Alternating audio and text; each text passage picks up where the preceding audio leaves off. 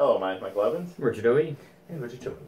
We just finished playing Circus Imperium, a game I didn't buy for once.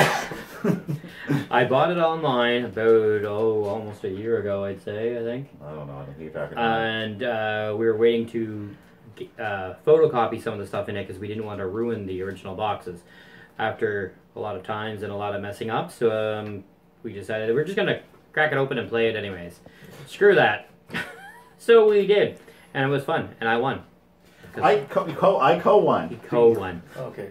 What happened was we were racing hoverboard chariots being pulled by genetically altered beasts. And everybody's beasts, except his, died.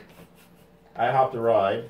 He ju- One of his drivers jumped into the Uh, surviving my, my chariot. female driver Ben, uh, her she jumped in.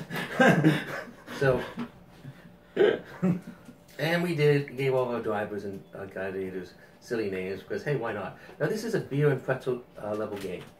The rules are not detailed, complicated, anything like that. so we don't know if I call one or not. So we're saying I call one. By we I mean I. I don't care what they say.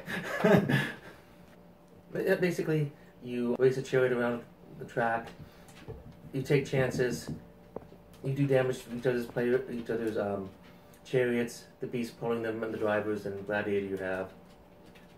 And generally, the, somebody limps across the finish line last, uh, and that's it. Oftentimes, you will have nobody being able to go across the chariots, but to see whose beast goes last, and that's who won. Or whose chariots fell apart last. Yeah. Um, very and pretzels, very mature. Uh, when we play it, we revert back to junior high with the various jokes we tell. and player X loves it. He crosses the mouse and goes into a frenzy every time he gets a chance to play this. Frenzy! um, Back to their cage. for many years, there was a person who attended most local gaming conventions bringing this game along. Um, he's no longer attending them because of various reasons, but we, we all have pleasant memories of playing in a crowded room. where Everyone else is looking at us saying, "Will you guys shut up? As we yell, Frenzy! Keep in mind it's late. Oh, sorry. We are not at a convention right now. No. No. But we might still have people upset with it, how much noise we're making. I'm gonna start whipping you, you beast. Probably. So, um, it's basically a combat game on combined with a racetrack where you have three sets of hit points. The hit points for your characters, the hit And you have for your beasts. ca- char- Okay, I'm going to explain the three types of hit points. You have hit points for your characters, you have hit points for your chariot, and you have hit points for your beasts. I didn't get the beast fast enough this time. Oh, he's already done. It was you. He's So- showing his dog? Um, yeah, anyway, three types of hit points. You can try to crash into each other as you go. You try to drive each other into foot walls. When you take the turns, depending on how fast you're going, you can not quite take the turns. You can slam into the walls um, as you're basically taking the turns because, you know, you can't be going too fast for those turns. And that's basically it. As you are smashing up your chariot, and everyone else is smashing up their chariots, and you're smashing up their chariots, and trying to hurt their beasts and smash their chariots, and hey, maybe somebody in your chariot happened to be waving a sword at the person in his chariot, and whoops, did that hit really hard? Not hard enough, darn. It's most fun when you're going into the corners when you're going extremely fast and can't control your Yeah. control your chariot because your beasts are frenzied. Um, when your beasts are gone to frenzy mode, So it's more fun You when go- other players are doing that. you go at max speed plus a d10. So first time around, you maybe hit an speed of 18. As you hit the corners, um, each track in a corner has a number uh, associated with it. You subtract that from your current speed, and that's how many cornering cards you pick up. More cornering cards, the worse generally for you. Some cornering cards is, hey, yeah, everything worked out. Others are, you start drifting left. And sometimes you drift one square left, sometimes you drift three left. But it doesn't matter how far left you drift, that wall is still there on your left. right. On your right? Okay. Yeah. on the right. Other left. By other left, I mean right. It's, it's fun. I only know like I was looking at my sheet, like, no, most of my damage is on my right side. Yeah.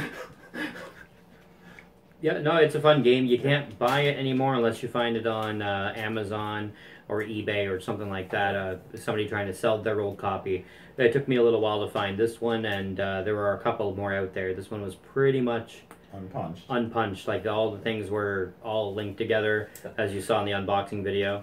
And the box was damaged when we got it, so the, We'll put a Okay. link in the bottom for the unboxing video. which will also show the date we got it and how long we've been waiting to play it. That's true. Um, but beyond that, uh, it's associated with the FASA universe for Renegade Legion. And this is what the uh, guys go to watch on Friday night. Not football, but idiots on t- uh, road chariots being pulled by beasts going around uh, Marina. In other words, us. Well, So, that's uh, pretty much it. It's a great game. Unfortunately, it's very much out of print.